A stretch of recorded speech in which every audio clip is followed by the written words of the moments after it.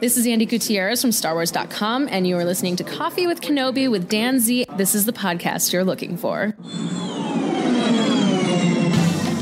This is James Arnold Taylor, and you're listening to Coffee with Kenobi. Hmm, I have a good feeling about this. Well, hello, my friends, and welcome back to another episode of CWK Live every Tuesday night at 7 o'clock p.m. Central Standard Time. I'm your host, Dan Zehr, thrilled to be talking Star Wars with each and every one of you. Well, hello, friends. It is Happy Andor Finale Eve as Mary has let us know. Hello, Mary. Hello, Minta. This is the way. It's CWK Day. Good to see you. And Jason is there as well. Hello there, Jason. Well, friends, I want to say, before anything else, happy Thanksgiving to all of you. I know we're just a couple of days away, but I know the prep is happening. The turkey plans are marinating. Uh, pies are getting ready to be baked. I literally spent an hour. Uh, no, that's not true. It was about 45 minutes in line at Costco getting pumpkin pies. I mean, 100 people deep. I put on my Instagram story, Dan's there, CWK, and pretty crazy. It was really fun. Everybody was in a good mood and happy, and that was great. And it was a perfect prep to talk to all my happy friends here, my Star Wars people. Hello, Colby. Happy early Thanksgiving to you as well. Lori, hello. Good to see you, Lori. Hope things are going great. And Jamie is here. Hello, Jamie. Welcome back, my friend. Boy, I promise fire's not this crazy. It's just like it's getting dark in here, and so it just looks more like crazy than it actually is. Although I don't know, that's okay. What are we going to talk about tonight? What are we going to talk about tonight? Well, of course, we're going to talk about the 11th episode of Andor. Top five moments from Andor's 10th episode. Oh, that's not right. Let me fix that. Well, friends. Let me put the correct one on there. I know it's here. I just made it not too long ago. Let's try again. There we go. Top five moments from Andor's 11th episode, Daughter of Ferrix. That makes more sense. Yes. Daughter of Ferrix. And we've got some Bring Home the Galaxy news. And then at the end of the show, I want to talk about what you are thankful for in the world of Star Wars. So now, let's take a look at what is brewing in the world of Star Wars this week.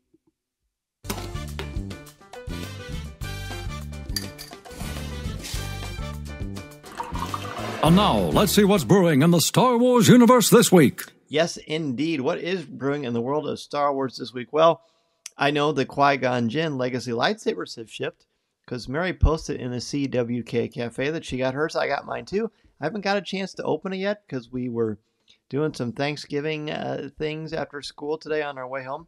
But I'm very excited to have that little treat waiting for me. Mary how is it? Please let us know in the comments. I can't wait to hear about the Qui Gon Jinn Legacy lightsaber. Qui Gon, one of my favorite characters, and that is easily one of my favorite lightsaber designs as well. Okay, so Mary says it's very cool, and I believe you mentioned it was very heavy, which is neat. That to me, it always makes it feel like it's a higher quality, so that's nice. So let's see what we got here. So a brand new Funko Pop which is the one of the posters. I believe is it the circus style poster? No, that's not circus style. Well, maybe it is. It's uh, it's this one of the second posters, I believe, from A New Hope, and this is the Funko Pop. It's a brand new one of Luke. It has R two D two with it, and that's really fun. Mary says this will complete Chaz's cosplay as Qui Gon. Well, that's cool. That's cool. Seeing with this beard I got going on, I'll have to dress up like Obi Wan, and then Chaz and I can walk around for a little bit. That would be fun. Qui Gon and Obi Wan. Although I would be an older Obi Wan with this beard, but actually Chaz could probably outbeard me. All right, so I don't know what's going to outshare this. I mean, look at this. This is uh, this was just announced today. Actually, I got an update about this a couple of hours ago from our friends at Lucasfilm. There are two gaming chairs that have just been announced. They are from a company called Secretlab. These gaming chairs, I believe, are on sale very, very soon. Hey, Brian, what's up, man? Good to see you. Brian is here on the show. I'm looking at this press release to see when these chairs are coming out. Oh, gosh, I don't really see an announcement here.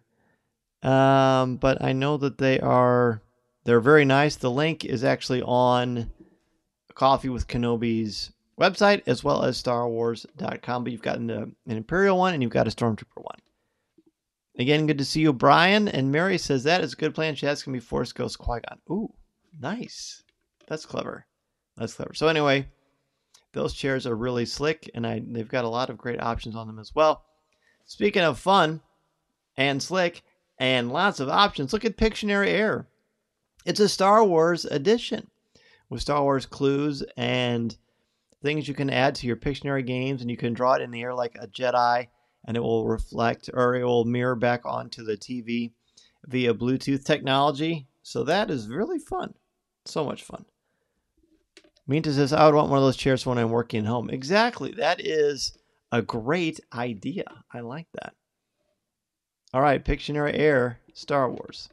Now, here's some jewelry that has been um, shared with us. This is from a company called, let me pull up the exact name here for you. Where is it?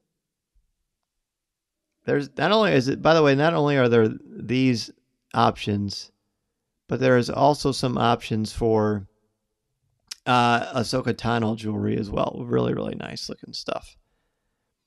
Uh, Brian says those chairs need the th- three levers for hyperspace. That would be cool. That would be so cool. Okay, so this jewelry is from a company called uh, Girls Crew. I'm not familiar with that, but uh, I looked through it. Some really nice quality stuff there. Uh, Mary says, Is that Girls Crew? Yes, it is. Uh, these are the rings from Enzo. These are the I Love You, I Know in Aurebesh. These are the new silicone rings. Really, really fun. Boy, I wonder if I could get Deanna to wear the I Love You and I could wear the I Know. That would be fun. Hey, Andrew is here. What's up, Andrew? Andrew, happy to finally be able to join. Andrew, it's great to have you, my friend. Really nice to have you. Mary says a girls' crew has some really nice pieces, so that's good. I'll go back to that so we can look at them again. And then back to the Enzo Rings ones. I love that Andrew is here. Andrew, great to see you.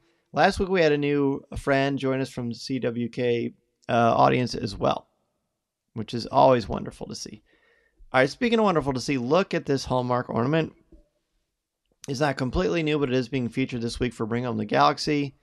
It's of course the Mandalorian saying goodbye to Grogu, and it's it's really uh, really sweet, really touching. A great likeness too. Now look at this. With the Dark Trooper underfoot, Luke Skywalker has just finished uh, performing his sushi with his amazing green lightsaber. But this is a hallmark ornament of Luke Skywalker, and I absolutely love this one. And Andrew Mary says welcome as well. And, that, and that's what that's the norm around here, Andrew. Everybody who joins us in the CWK Cafe, which is our Facebook group, or on CWK Live, is always welcoming and wonderful. And that's one of the reasons why this community is so great. Now look at this. This is uh, up to snow good. This is from Shop Disney. Disney has done a lot of great things, and I'm going to post some more stuff this week and next week on Instagram. But they've got some great Ewok Christmas merchandise, and I thought this was really fun. The milk bottle and then the plate. Up to snow good, it says. Minta says, I have one of those Enzo rings, super comfortable. And yes, I have the Ahsoka one. Well, of course, I would expect nothing less. They sent me the first set a few years ago, the first six, and I love them. They're really fun. I wear them to celebrations sometimes. You knew I had to post this. If you've been watching along on Twitter or Facebook, on Instagram, either me uh, personally or my or coffee with Kenobi, then you know that Columbia sent me these amazing, this amazing parka, Clone Wars parka, and this ball cap. Uh, it goes on sale, I believe, December 4th. It's either the 4th or the 2nd. Uh, let me check this actually. I swear I actually am usually prepared for these things. But there's just a lot. This is just an exciting week. A lot of stuff going on, not only with Star Wars, but with family things, fun family things, and Thanksgiving. Okay, so yeah, here we go. I got it right here. These are all coming out on Friday, December 2nd at 12.01 a.m. Eastern Time at Columbia.com slash Star Wars. You can find a link to it on Coffee with Kenobi. Here's a couple of pictures uh, the the jacket that they sent me. It's really warm. It's it's a huge jacket, but it's great for when it's really really cold, and that can certainly get really warm in Illinois. And the picture on the right, I only took. That's what it looked like I was a mannequin because it does look like that. But because the jacket had the sleeves have thumb holes, and that was a big uh, hit with Mason. I'm not really a thumb hole person, but hey, it's fun. It's comfortable. It makes sure it's, it's really nice when you're sledding or, or playing in the snow, I would think too. And then next is a close up of me with the hat, which is cool. And I was actually going to wear it tonight on the show, but I did not bring it down to the studio with me. So that'll be something to look forward to next time. So there you have it. Thanks for everybody for the fun comments on the little photo shoot that Deanna and I did just for the heck of it. That was very entertaining. So there you go. Columbia all every every winter I always look forward to whatever Columbia is going to have for Star Wars jackets because they always do such a great great job. But this one is no exception because they've got highlighting stuff from season 1 of the Clone Wars, which I love so much. What a unique thing. All right, let's do it. Let's talk about the 11th episode of Andor, Daughter of Ferrix. So I just realized that Syril isn't on my list. Uh, although there's certainly a really memorable scene with Syril that I could bring up. I just didn't put it on my list. But that doesn't mean it's not good. There's a lot to choose from here. This, the, the penultimate episode of season one of Andor. Of course, tomorrow is the finale. We need to talk about Daughter of Ferrix first. A very powerful episode, as they all have been. Uh, Cassian's mother, Marva, has passed away. And there's some fallout from that. There's a lot of loss and tragedy with all the characters in this, which we talked about in great detail on Coffee with Kenobi this week. And I was joined by Cory Clubb, the co-creator, and my co-host on Pour Over, along with Tom Gross. And then Jeff McGee of Marvin Dog Media and Star Wars Splash Page joined me to talk about it in detail as well. Mary says Syril is in my honorable mention. And Kelly is here. Hello, Kelly. He says, Me to oh cool. I wonder how comfy they were. I'll get them now. Thanks. Awesome. And Kelly, Great to see you. Again, another new face. That's always awesome. Let's hear it for all of our new friends who joined us today on CWK Live. Number five. Let's go into this. Let's do number five. Number five for me is Let's Call It War. I could just pick five moments from the conversation with Luthen and Saw very easily, but the way that Saw is just so interesting. He's chomping at the bit. Before he was reluctant to join in this war, and to help out Anto Kreegyr. And now he realizes that Anto Kreegyr is basically going to be served up to protect the rebellion, even though Anto Kreegyr does not know this.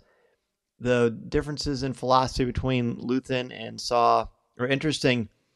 Luthen is legitimately not sure what to describe everything going on with Anto Kreegyr and the fact that he has to sacrifice him. And Saw just says, let's call it war. He just breaks it down. This is there is nothing good about this. It's war. Although I think it's fair to say Saw likes war. Well, maybe that isn't fair. Maybe this is not that he likes war, it's just that he has decided that is the only option for him for the rest of his life. And it's sad, but he's a very tragic character. But I like that line, let's call it war, so that's my number five.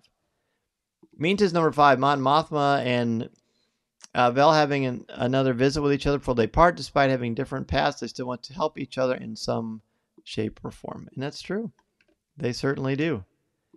Number five for Jamie is Linus contacting Syril. Dare I say he is a fun favorite of mine from the early part of the series? No, I know. I know what you're saying. I think a lot of people feel similarly about that. Colby, I love how the episode started with Cass and uh, Melshi climbing. Awesome continuation of the climb theme. It's true. Yeah, that's that was very tense, but it also wasn't. It was very well done the way that they uh, presented that sequence. Jason's five, Cassian and Melshi finally escaping Narkina five. Finally, and of course, there's still a few moments where you're just a little nervous too.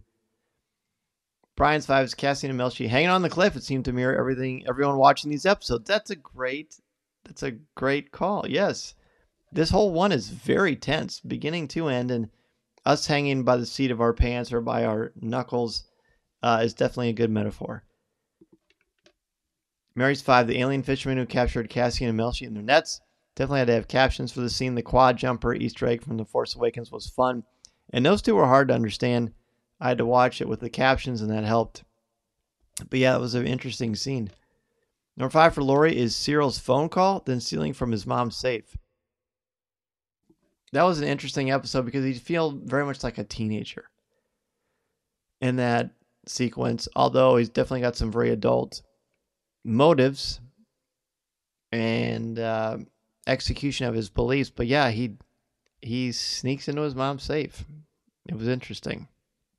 I wonder what's going to happen with Syril in the next episode. But let's go on to number four, shall we? Number four for me is the Luthen Panic.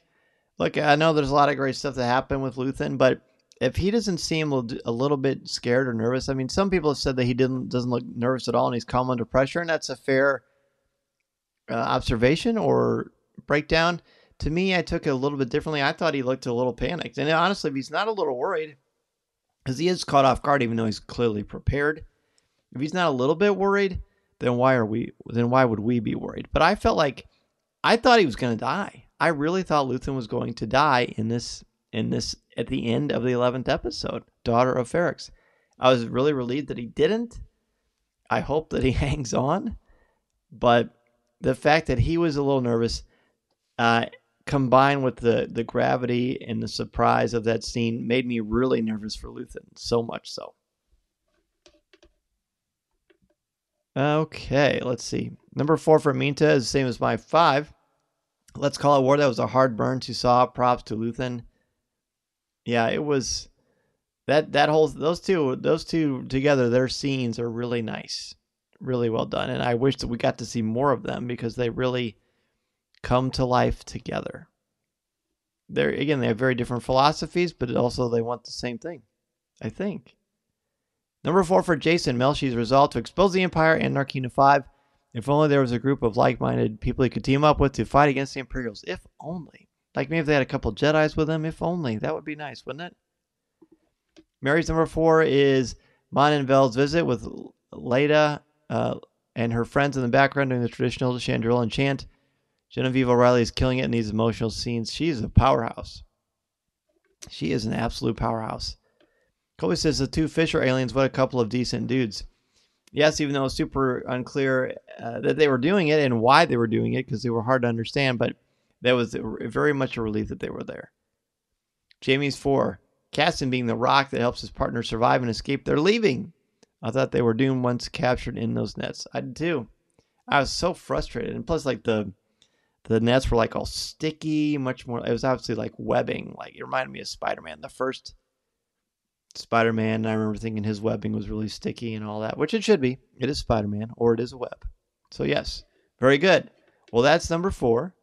Let's jump into number three. And if I'm going too fast, feel free to raise your hand and say, hey, Dan, wait, I want to share mine. You can absolutely do that in the comment section at any point. So, number three for me is Luthen's maneuver, the the little the the twirl. I don't know what the exact combat expression is in those lasers that come out and basically saw those ties in half, like laser them in half. That maneuver only works because of the panic before to me, because it sets it up and makes it more exciting and thrilling.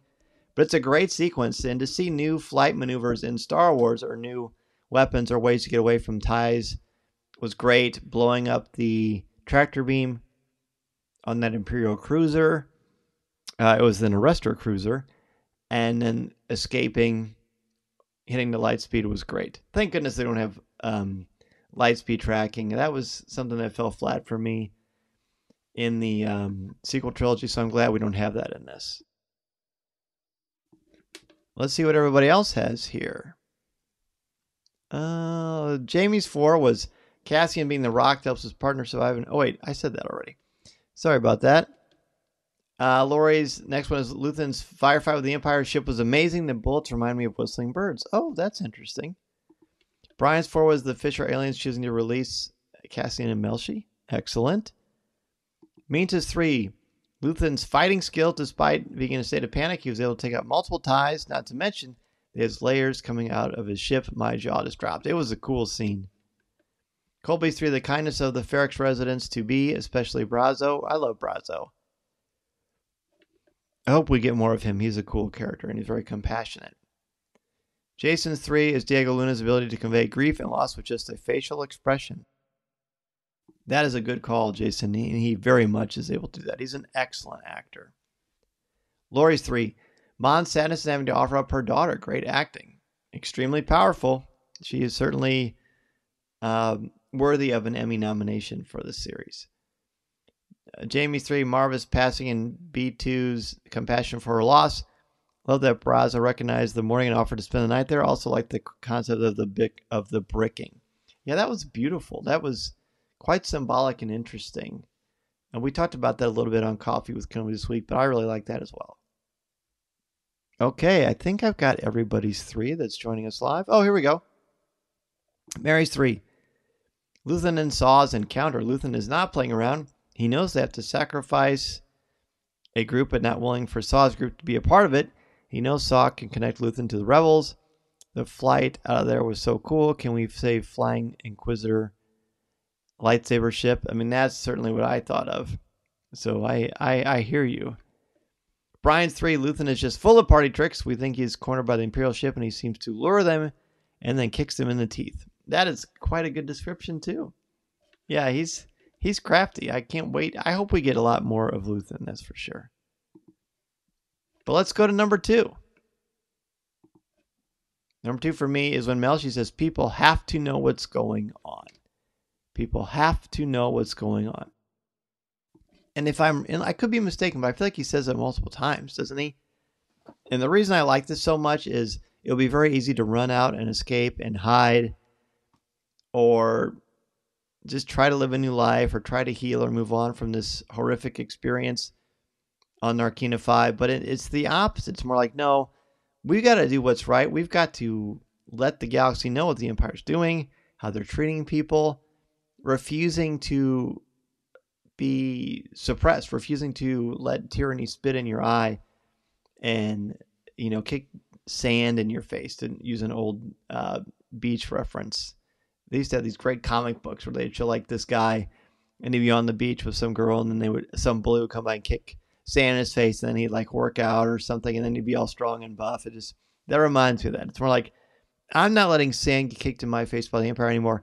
I'm letting everyone know, it's but it's very resolute and very serious. It's it's very it doesn't feel like fiction in that moment. It feels like reality. And I think that's one of the reasons why Andor works so well. It doesn't feel like fiction sometimes. It really feels like an urgent, important thing that's going on in the real world. And that is because the writing and the acting, the directing, the production of the series. So that's my number two. Number two for Minta says, Poor B. He felt so lost without Marva, probably one of the few droids to express grief. You know what? I noticed that too, and I don't know if I said on Coffee with Coming or not, but he really does express legitimate grief and loss. Jason Syril's video call with Sergeant Mosk, which was very interesting, and the, the smelting was going on, which distracted everything. Mary's B uh, number two is B two. The poor little guy has lost everyone he loves. Seeing the opening scene of Marva's death through his receptor was so good. It was hard at first. It was hard to know what was going on. Then you realize and you're like, oh no. And Colby agrees with you. The point of view shot from B. I didn't know what was happening until he saw his eye, and then he started shaking when he heard that Marva was gone. Powerful, very well done. Just really, really uh, original and clever idea. Number two for Jason and Syril's video call with Linus. I appreciate the humor of it. Otherwise, somber episode in this series. They do interject a little bit of that too. And I like that his video call is like it's interesting because this gentleman that is his partner, uh, he is he's very loyal. He's very very loyal to to Syril, Um, and he's sort of played a little bit like silly, but he seems very resolute and not someone that I think you would want to cross. I don't think. Uh, Sergeant Mosk, yeah, Linus Mosk. Lori says the phone call with Andor was such a sad moment at the end. Yeah, it was, and the way he played that was, oof, awful. Gave me chills. Jamie Saw and Luthen the back and forth to accept the trap is set, and there could be no change to the plan. Building trust through trading ac- accusations was quite interesting. You just can't. It just feels like that can't last forever, and I don't know what their history uh, is ultimately going to share about that, but I agree. Brian, similar. Luthen and Saw's conversation, we don't really, we really learned that they don't trust each other, even though they are trying to be on the same side. I agree, and yet they very much do. They don't trust each other's maybe style or decisions, but I feel like they would never betray each other. I just, I mean, I just don't think that they would. I don't know why. Just something about the way Luthen saying, you know, you know, he can't really harm me. You could, but I feel like he would protect him for who knows what their history is like again as friends. But also, there's something there about uh, there's something there's sort of a strained brotherhood between these two. I don't know. I hope we get to see more of it because it's it's really compelling. I think. Okay, well, let's go into number one. The, our number one from our top five moments from Daughter of Ferrix for me is Confession. When Mon Mothma is, is sitting with her cousin Vel for a good a couple of moments, a few minutes about being short 400,000 credits, what she has to do. She can't she almost can't even bring herself to say it specifically out loud, although we certainly know and Vel knows what's going on. The pain, the anguish, like it is it is killing her from the inside. It's so sad, it's so terrible. I feel like again as a parent, it's even amplified because you just can't imagine ever doing anything to hurt your kids or put them in harm's way. You just it just seems and unfathomable. And the fact that this woman, who's a good woman and a good mother, it, I think, the fact that she feels like that's her only option shows you how dire this is. But I also think it's important to have Mon Mothma be vulnerable. And she's always just, you know, makes these good choices and she's just strong and confident all the time but never has any doubts or makes any mistakes, then she's not relatable. So I don't like what happened, but I like that she is human. And her confession is just very, very tragic and heartfelt and kind of Shakespearean. So a, a wonderful sequence. Absolutely wonderful. And one for Colby, the the Fondor the whole scene just so exhilarating. It was. It very much was. Number one for me to the end of the episode seemed to foreshadow what would happen to Cassie in Rogue One. Yes. She gave me chills and made me feel a little sad. You know, I know some people have been watching Rogue One since this. I think I'm going to wait till after season two. Uh, I think I hopefully I can wait that long because it'll be interesting to see what Cassian is like after that. Then one for Mary Cassian after learning about Marva's death and Melshi leaving. That final scene of Cassian looking out over the ocean, and then turning his head gave such a Rogue One vibe. So well done with the visuals and the music. So haunting. Yeah, that's you're the second person to bring up that flashback see or that kind of foreshadowing with the ocean. It was really nice. Powerful. Number one for Jason is Luthen's skill under pressure from the Imperial cruiser, and the Fondor is a super cool ship. Yeah, and a very interesting name. It almost sounds like a, a dessert. Want some Fondor? Sure. Uh, Mary's uh, says, Minta, we definitely have the same vibes with this episode. Yeah, you two are on the same path for sure. Lori's number one is the death of Marva, and B2's overwhelming grief. Everyone telling B2 to pull together. I keep hoping Marva is in the tunnel under the hotel and she saves Bix. I hope Marva faked her death. Boy, that would be awesome. Brian's number one is Luthen's ship. What else is it hiding? Yeah, what other kind of gadgets and gizmos are there? And, and how cool of a Lego ship would that be if they ever decided to make that? Very, very interesting. Well, I think you know. By the way, thank you everybody for sharing your wonderful list. I, I love that we join these together. We talk Star Wars. Again, you're sharing this. Not, I mean, not only is the people who are tuning in live, but the, it's on our YouTube channel, Coffee with Kenobi's YouTube channel, which I hope you are all subscribing to. Every little bit helps. But the audio feed of this goes out to so many people. So many people are hearing your voice. You have a voice in the Star Wars community. And it's immediately getting out there because of CWK Live. And all of you taking the time to watch the shows and prepare your lists and join me. I love it. It makes this show so good. This show does not happen without all of you. So thank you for pouring your heart and soul into it. It means a lot and it really makes this show what it is. Absolutely. All right, let's see. Jamie's number one was Luthen's Escape particularly finding laser beams and spinning out to take the two ties out. I thought he was done for since we really don't know what his future is in this series or beyond. Always one step ahead, always prepared. He's like kind of like Batman, isn't he? Let's hope that that continues. Let's hope. So next week, the last episode from season one of Andor, episode 12, Who knows what it is going to be called or what's going to happen? But we do know it's going to be something we are going to be talking about for a long time, especially here on Coffee with Kenobi. So now let's go ahead and jump into Ask Dan Z.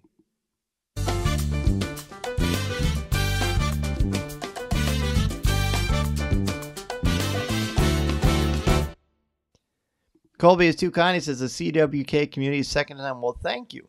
Thank you, bud. And thank you.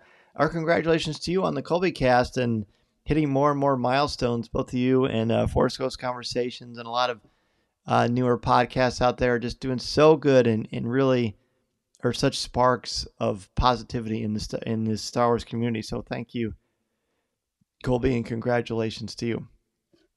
While we're get, sitting in here thinking about what you want to ask me, Star Wars podcast related, what have you, I want to say thank you to all of you. I'm thankful for Star Wars because it has brought all of you into my life as fans of Star Wars, um, creating an amazing atmosphere in this community that I'm happy to be a part of. Because of you, I get to have this awesome Star Wars life and have these amazing Star Wars friends. So I'm very, very thankful for all of you. So thankful for you. And I also would be remiss if I didn't say a special shout out to the members of the CWK Alliance. Members of the CWK Alliance help me to do so many things with this show. You also get something out of it as well. You get an exclusive video and audio podcast every single week. Uh, you get access to private uh, Zoom calls and uh, with me, and we just have a lot of fun together. So not only are you doing that, but with that exclusive podcast, CWK Pour Over, but you also are helping to contribute to the St. Jude Children's Hospital because 15% I'm sorry, 10% of your monthly contributions go directly to the St. Jude Children's Hospital and helping out those amazing children and their families. Mary says, very thankful for you and this group. So many good friends here now. Well, thank you. That's so cool. I appreciate that. You've done so much, Mary. You've been so awesome. So I can't wait to hang out with you. And a lot of our friends next summer on the Galactic Star Cruisers. That's right. You can go with me on the Star Wars Galactic Star Cruiser at Walt Disney World, June 12th to the 14th. It's going to be me, Tom Gross, Cory Clubb, um, and so many others that are in this community. And I can't wait. There are limited spots available. You have to go to coffeewithkenobi.com slash travel and tell them you're with Dan there in the Coffee with Kenobi group, and they will make sure that we're all together as, as, as much as is humanly possible. Chloe says, just found a leader. That's you. You are the leader. Well, thanks, man. Uh, I appreciate that. I hope I, I am one of the leaders that survives the Death Star trench run. How about that? Brian says, thank you, Dan, for your time and energy and making this so much fun. Hey, man, my pleasure. My pleasure. Jason, what what's, what's my favorite Thanksgiving side dish or dessert? Well, a couple of years ago, two years ago, we did uh, pour over top five um, favorite Thanksgiving dishes. It was really, really funny. We talked about that a lot. Uh, my favorite side dish is sweet potatoes. I think. I mean, I love mashed potatoes and gravy, but I feel like that's kind of like one and one A with turkey. But I love sweet potatoes. Love it. How about you? Have you ever had a chance? Have you ever heard of any changes to Star Cruiser uh, cruise itinerary? I haven't. I haven't. I, I feel like it's still so kind of newish. It's only been open since what February or March, so it's probably too early. But I'm sure at some point it makes sense to get people on it multiple times they might change the this the itinerary. I hope they do, but I can tell you right now what they have is absolutely extraordinary. Okay.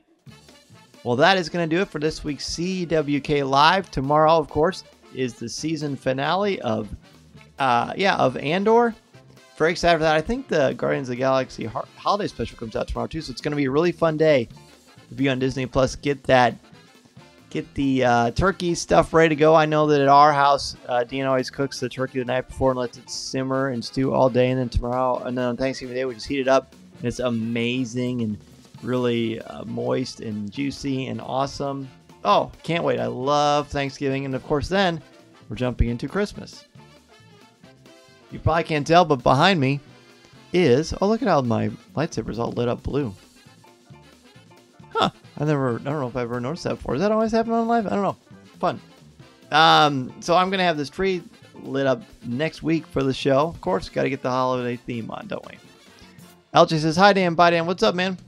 Uh, have I seen the new lightsabers in Savi's Workshop? Well, Brian, what do they have? I know they've got Obi Wan Kenobi and Invaders from the Obi Wan Kenobi Disney Plus series, Qui Gon Jinns, of course, uh, which I have. Uh, I don't know, but let me know. What are they? Very happy Thanksgiving to you. Have a wonderful week as well. Minta, may the force be with you. Colby, thank you so much. Happy Thanksgiving to you. So, Brian, yeah, in the CWK Cafe, if there are new lightsabers in Savi's Workshop, let me know because you know I love me some Legacy lightsabers. They're great. And you're all great too. Thank you so much. Enjoy that turkey, watch some football, hang out with your family and friends. Tell the people that you love that you love them as much as you can. And remember, this is the podcast you're looking for. See you next time, everybody. Happy Thanksgiving. This podcast is not endorsed by the Walt Disney Company or Lucasfilm Limited. It is intended for entertainment and informational purposes only. The official Star Wars website can be found at www.starwars.com. Star Wars, all names, sounds, and any other Star Wars related items are registered trademarks and or copyrights of Disney and their respective trademark and copyright holders. All original content of this podcast is the intellectual property of Coffee with Kenobi unless otherwise indicated. This is the podcast you're looking for. There's no one here. Along.